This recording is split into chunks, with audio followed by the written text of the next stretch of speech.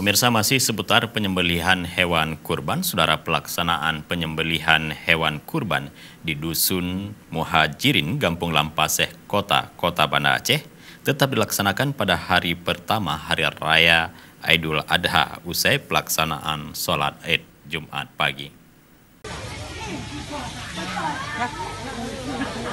Penyembelihan hewan kurban pada sejumlah kampung di kota Banda Aceh pada Idul Adha ini dilaksanakan pada hari raya kedua dengan mempertimbangkan waktu yang sangat singkat karena hari raya jatuh pada hari Jumat.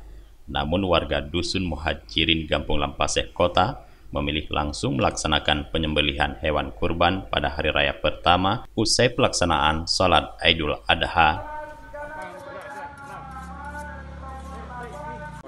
Alhamdulillah, segala puji Allah, tahun ini di Muhajirin dengan swadaya masyarakat sama-sama kita dapat memotong hewan kurban di 8 ekor. Mudah-mudahan di tahun ke tahun kita makin meningkat. Kemampuan dan keinginan warga Dusun Muhajirin juga mengalami peningkatan dengan bertambahnya jumlah hewan kurban.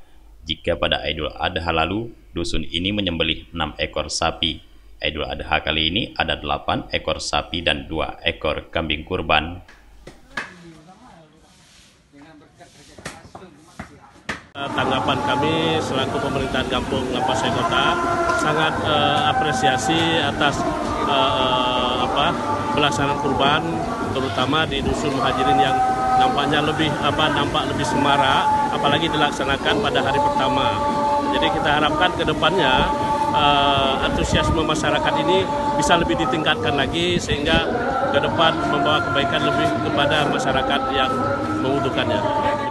Hal menarik lainnya di kampung ini tidak dibentuk panitia kurban, namun seluruh warga dusun bergotong royong melaksanakan setiap tahapan pelaksanaan penyembelihan hewan kurban.